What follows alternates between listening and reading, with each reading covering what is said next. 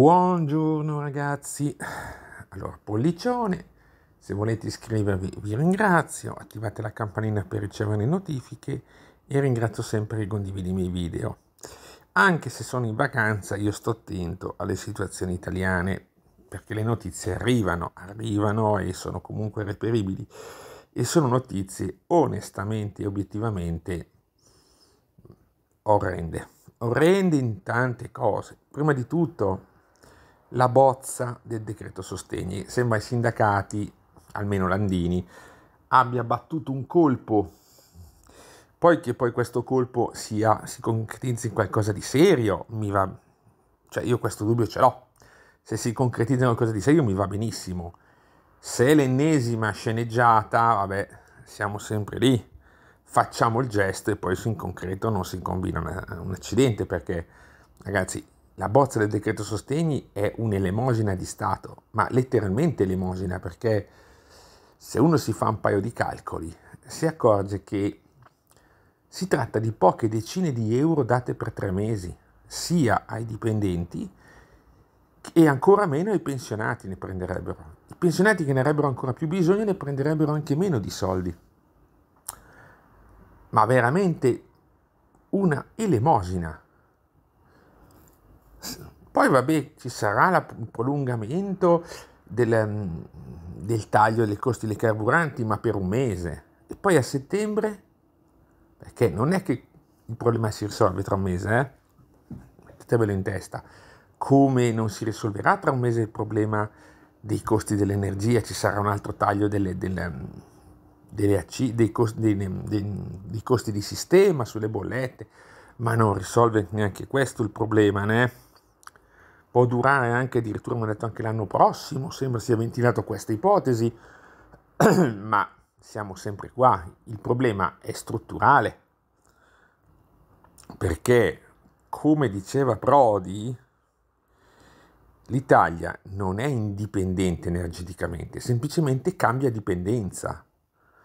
E invece di prenderli da Vladimiro, li prende da un altro Stato in cui tra l'altro i, i, diritti umani finiscono tranquillamente nel cesso, ma è quando fa comodo, eh, come gli accordi con la Turchia, no?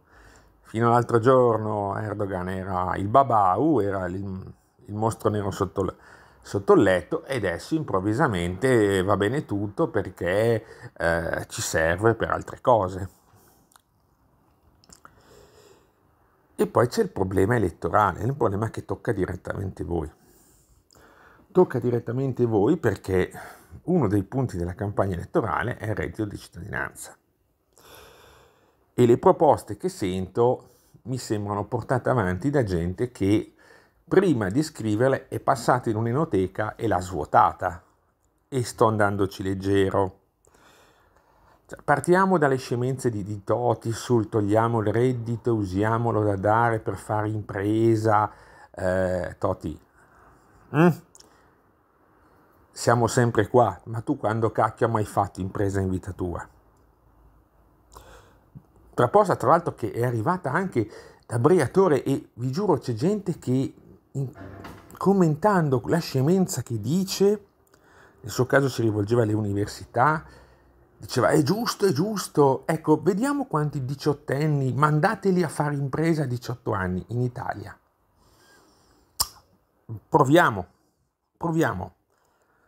Io mi ricordo cosa fece Bibi per far fare impresa da noi, ma con un sistema economico completamente diverso e serviva a portare dei progetti prima di vedere il cash, vedere i soldi, se no ti attaccavi al tram. In Italia come fai impresa?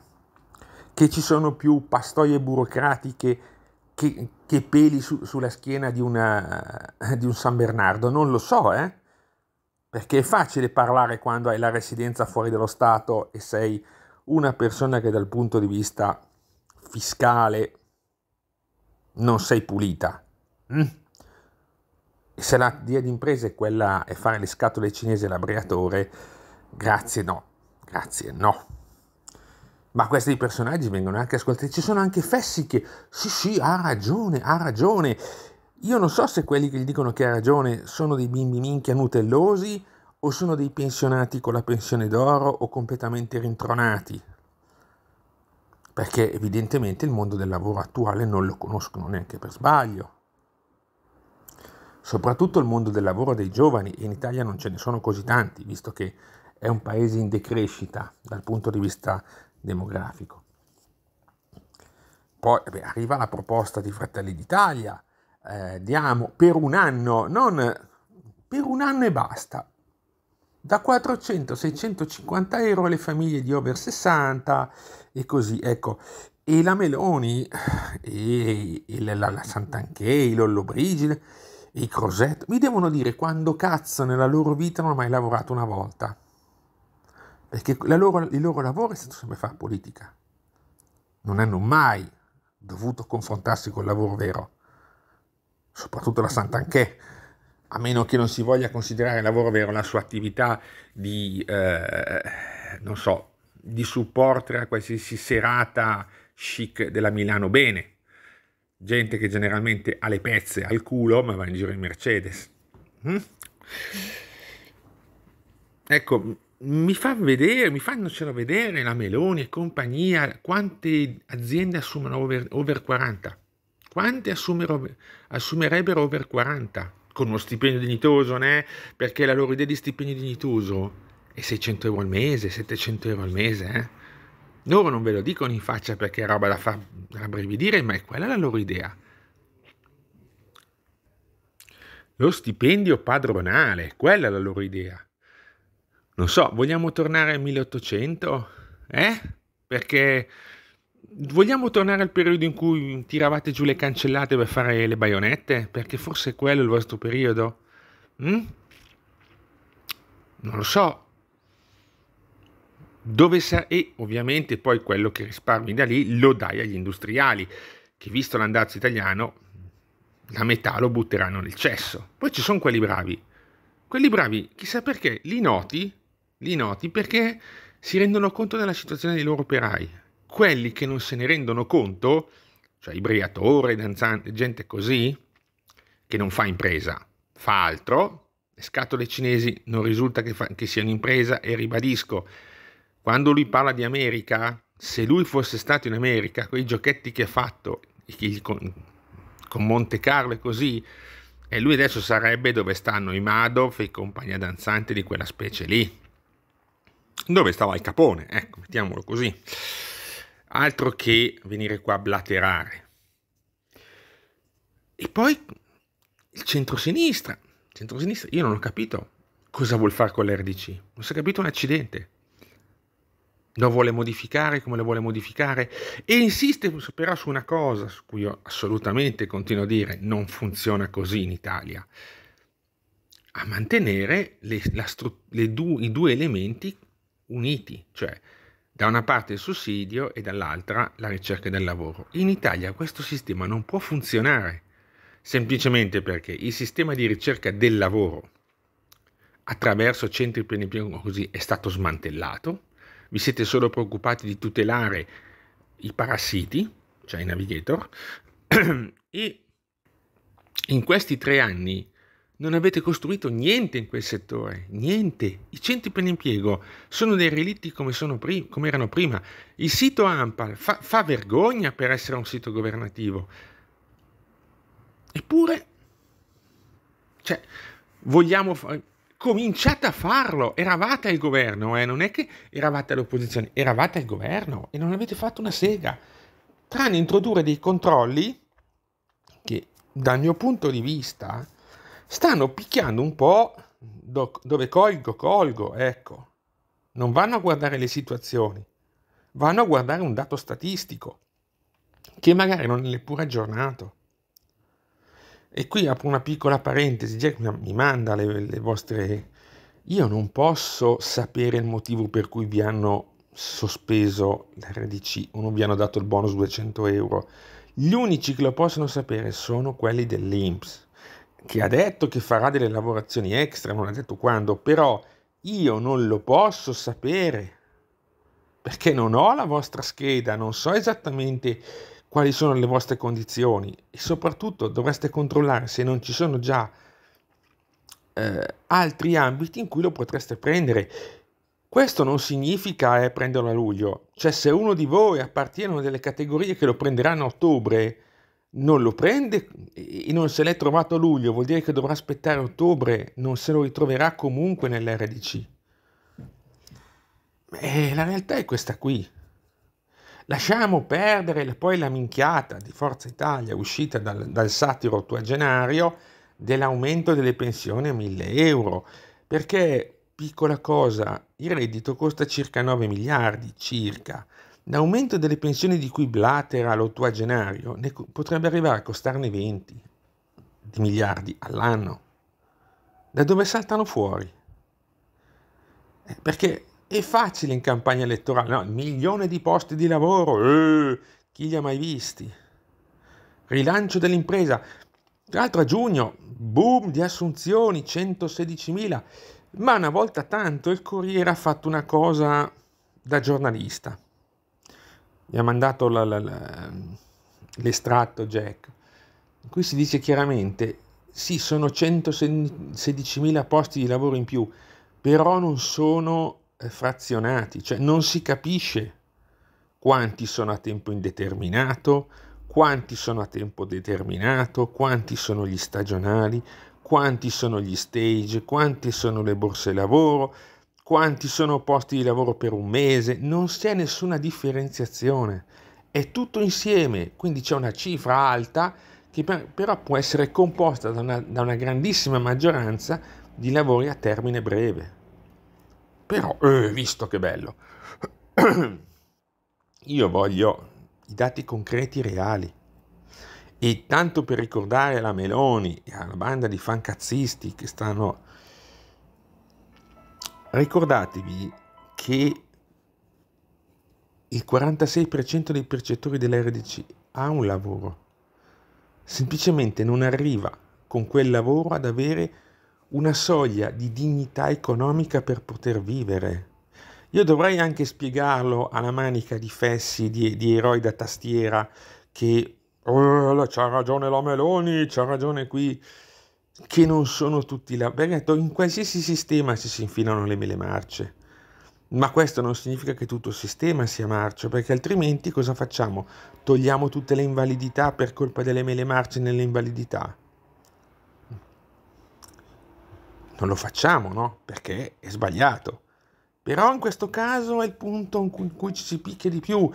Ci si picchia di più con gente che ti viene a dire che sì, ma io ho 600-700 euro al mese, con un incremento del, dei prezzi al consumo cioè, del 9.1%, quindi ragazzi con un incremento pesantissimo, questi ti danno il 2% di aumento sulla busta pago sulla pensione.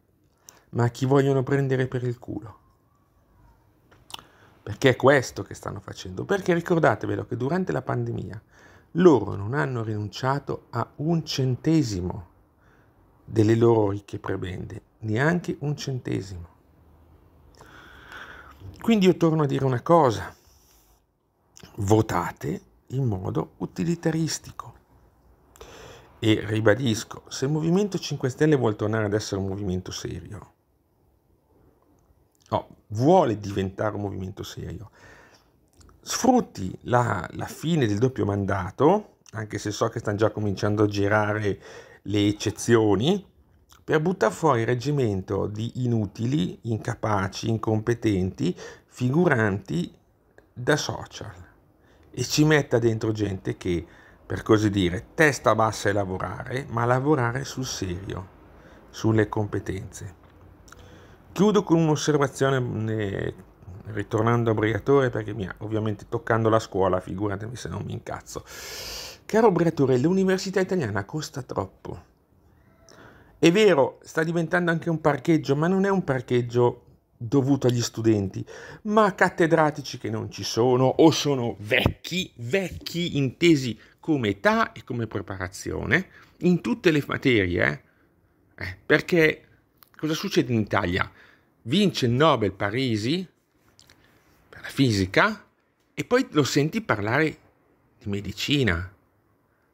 Ma che cazzo c'entra? È come se io mi mettessi, andassi in un'aula a spiegare eh, le reazioni atomiche.